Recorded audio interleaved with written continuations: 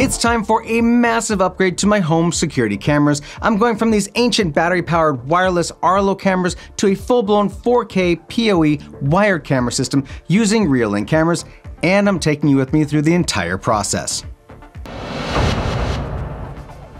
Hey there home labbers and self-hosters, Rich here. In this video, I'm gonna take you along with me as I install, configure, and deploy brand new PoE security cameras around my house to replace the old wireless Arlo cameras that I've been using for years, and I'll have Jon along with me to help with the installation. This is not a sponsored video, but for full disclosure, Reolink did send us all the cameras, junction boxes, and the DVR we'll be using in this video. So let's talk about what we're covering in this video. Our first stop will be to talk about the location of the cameras and the Ethernet runs, and then we'll talk about the cameras we'll be using in each of those locations and why, and then we'll run the Ethernet to each of those locations where we're putting a camera, show you the camera installation, and then we'll talk about network segmentation and isolating the cameras from the rest of the network and the internet. And lastly, we'll get the Reolink DVR online, configured and storing video, and show you the final result. A successful installation starts with a good plan, so let's start there, shall we? This is the floor plan of the first level of my home. I currently have an Arlo camera to watch over the front door here, an Arlo camera here to watch over the driveway and the sidewalk, one here to watch over the side of the house, and finally here in the backyard to watch over the back door and most of the backyard. I plan to keep these locations and place the Reolink cameras in the same spots because these locations are ideal for giving me visibility over the entryways into my home and practically give me complete visibility around the perimeter of the house. Now, let's talk about the wire paths the Ethernet will take to get to these locations. My PoE switch is in the server rack located here. So all of my runs will originate from this location and terminate at each camera. Thankfully, with the exception of the run to the back of the house, all of the camera locations can be reached directly from the garage. The backyard run is complicated because there really isn't a great path to get from the garage at the front of the house all the way to the back. That's where this comes in. This is outdoor rated Cat6 Ethernet cable. What makes it outdoor rated is that its exterior jacket is UV resistant and designed to be outside in the sun or directly buried. Since it's important to me that we do this the right way, I wanted to make sure I used a cable that could withstand a lifetime outside and not break down. Anywhere a cable goes outside my home, we'll be using this cable. The run to the backyard will come out of the same wall penetration we make for the side of the house camera and run along the base of the rafters out of sight all the way to the backyard. The choice of a black colored cable was intentional to help blend into the darker colored paint of my house. So now that we have the actual plan, let's talk about the cameras and the DVR we'll be installing. Let's talk about cameras first. For the backyard and the side of the house locations, we'll be using a Reolink RLC 833A. These are 4K 8 megapixel cameras with a 3x optical zoom and have infrared and full color night vision, a built-in spotlight, two-way audio, and both person and vehicle detection capabilities. For the front of the house, we'll be installing an RLC81PA, which is also a 4K 8 megapixel camera with both infrared and color night vision, has a spotlight, two-way audio, person, vehicle, and pet detection, and has the added feature of being able to pan left and right, which is perfect for the front of the house since the driveway and sidewalk are the largest areas to cover. Also, as an interesting feature to note, the RLC81PA will automatically follow detected objects around as they move through the visible range of the camera, which is pretty cool. The front door location will be covered by an RLC1224A. The RLC1224A is a 12 megapixel camera capable of a massive 4512 by 2512 resolution at 20 FPS, and its clarity will really help catch the faces of people coming up to the front door. The camera also has both infrared and color night vision and person detection like the other cameras as well. Lastly, we can't have cameras without a place to store the video. So the final piece of gear is the Reolink RLN440. This NVR or network video recorder supports up to 12 cameras, each with a maximum resolution of 12 megapixel, and has a pre-installed 2TB hard disk for 24x7 recording. Okay, hardware show and tell out of the way, let's get the Ethernet cabling run.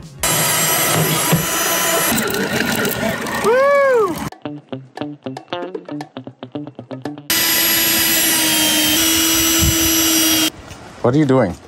Well, this goes in the hole, and then the hole attaches to the box. Up there. Yes, that's pretty much it.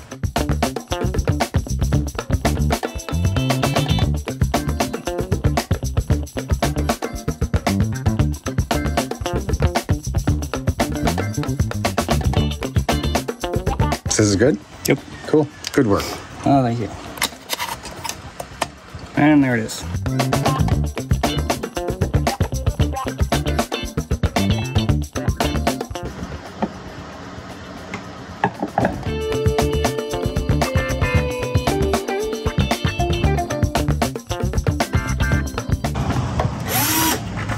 Alright, now that everything is properly cabled, tested, and working, it's time to talk about proper network segmentation of the cameras and the NVR.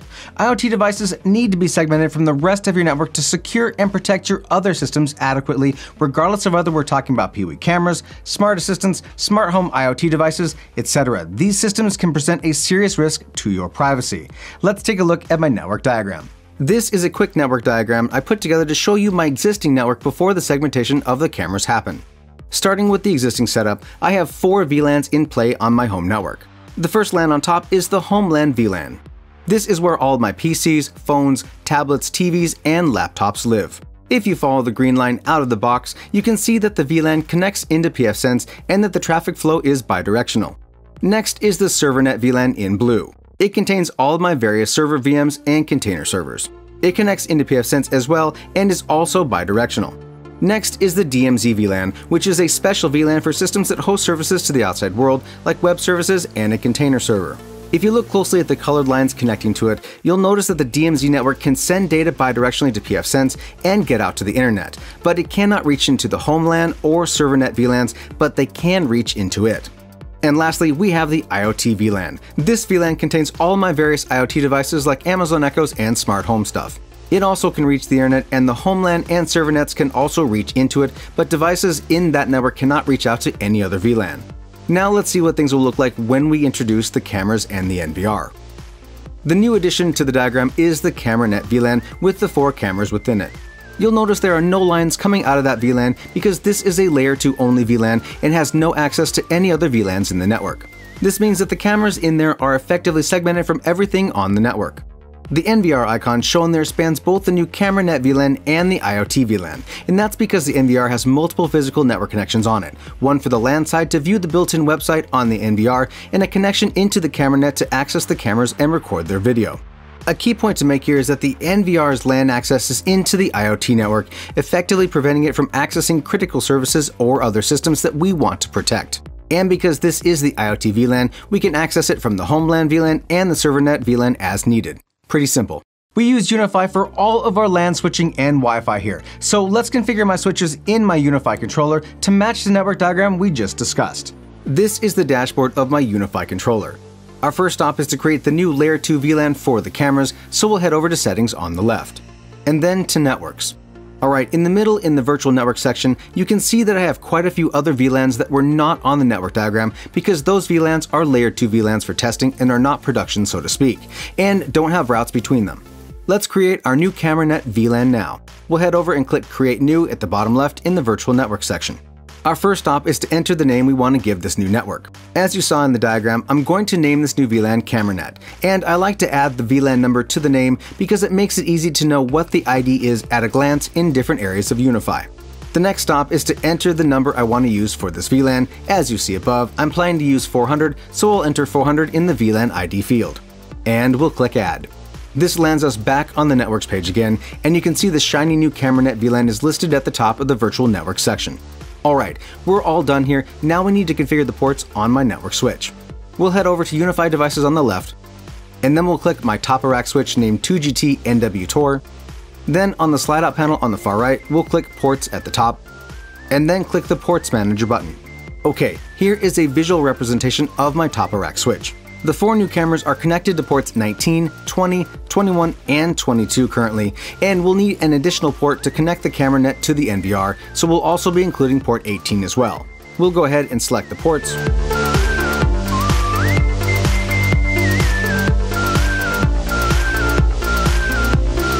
Uncheck Ethernet port profile since we're not using port profiles here.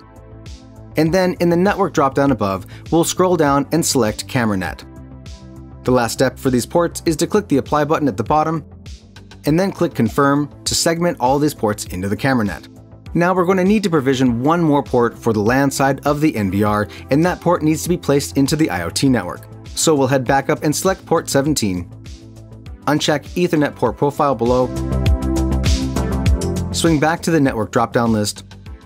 Scroll to the IoT VLAN and select it, and click Apply at the bottom. Boom. Just like that, we've implemented our configuration changes, now let's get the NVR set up. The first time boot of the NVR takes us through the initial setup of the system. First stop is to set up language, screen resolution, which we'll be setting to 4K for our capture card, and the date and time format. On the next screen, we set up the correct time and time zone. The NVR looks like it went out and grabbed the correct time and time zone on its own, but we did need to tell the system that we're using daylight savings time and then clicked next. Now, we need to set up our admin account password for the system. The admin account is the highest level of privilege on the NVR. And this is where I ran into my first frustration. The NVR does not support a USB keyboard, only a USB mouse, which means I needed to hunt and peck through setting the password manually, which kinda sucked. Once we set the password twice, we click Next. The next screen requires you to set up a password reset question and answer in case you forget your admin password and you're locked out of your NVR. Again, having to hunt and peck through the on-screen keyboard using the mouse was pretty annoying here, so I took the easy route. This screen allows you to change the host name of your NVR and allows you to format any hard disks you have attached to the system. Out of the box, the internal hard disk is all ready to go, so we'll leave things as is and click Next. Here's where we'd set up the network configuration for the LAN side of the NVR. We'll be leaving this set to DHCP and DNS to auto, but if you want to set a static IP address for your network, here's where you do it. The last screen is for setting up the NVR's ability to send you an email on alert. We're not going to use email to alert, so we'll leave everything blank here and click next to finish up. Alright, now the NVR is finished with the setup, and we now see the video wall of the NVR. Currently, we don't have any cameras set up, so we'll add them now by clicking one of the Add Camera pluses. This will trigger the NVR to search for new cameras.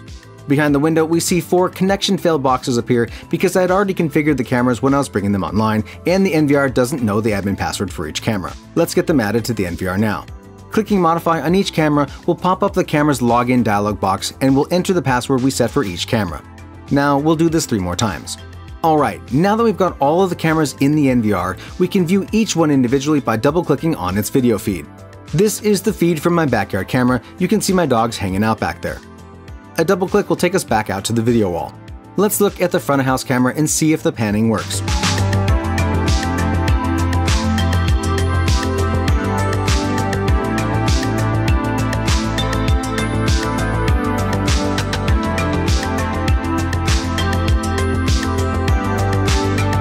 Looks like it works just fine. Awesome. Checking the front door camera next, all looks good here. And lastly, the side of house camera looks good too. Alright, all of the cameras are set up in the system. Let's take a look at the video recording and playback functionality now. We'll pop back to the video wall and double click on the front door camera. And then at the bottom, click the playback button to look at the recorded video so far.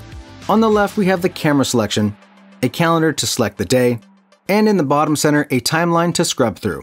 We can use the plus button on the left of the timeline to zoom in, and you can grab the timeline to move it around.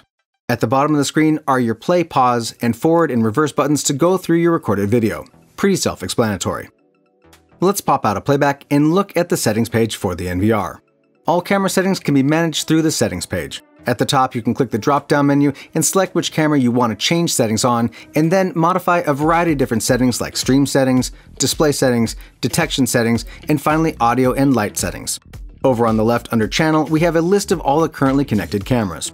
Under surveillance settings on the left is where you configure recording, alerts, warnings, and a variety of other settings related to the recording and alerting of events from the cameras.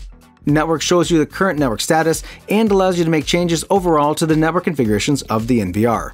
Storage allows you to see the current usage and do disk management of the NVR. By clicking the Disk Info button on the right of the internal hard disk, we can see smart information as well as the details of the internal disk. Looks like the 2TB drive is a Seagate disk running at 5400 RPM.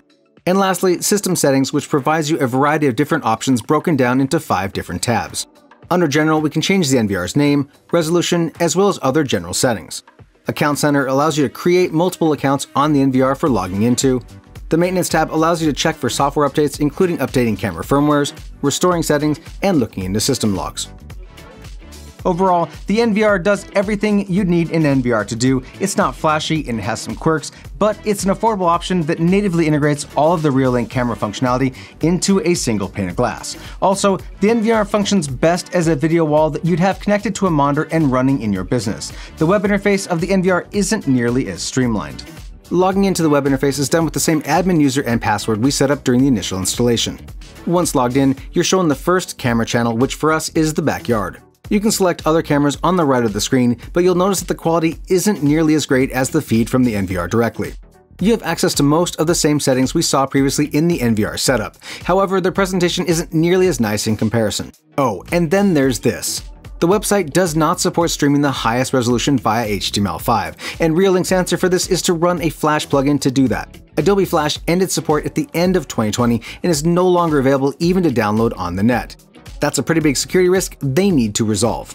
Otherwise, the web interface also allows you to view playback, download video clips, and mostly has feature parity between itself and the native NVR experience. One last thing to note, Reolink also has a web app available for Android and iOS. The user experience on the mobile app is much better than the web interface, and I highly recommend you use that app when you can. The app has the same general feature parity of the NVR with the benefit of being able to view the video in its highest resolution. Alright, so let's talk about final thoughts here. First off, the cameras. Not having any experience with Reolink up until this point, I was genuinely impressed with their build quality, their image quality, and their usability. I'm kind of surprised at what you get for the money considering competitor equivalents from Axis and others are like 3 to 5 times the price for the same features and resolution. The NVR feels kind of cheap and less polished in comparison to the cameras, but if I'm being honest, it does the job it's meant to do, and the ease of integration with the cameras makes it kind of a no-brainer.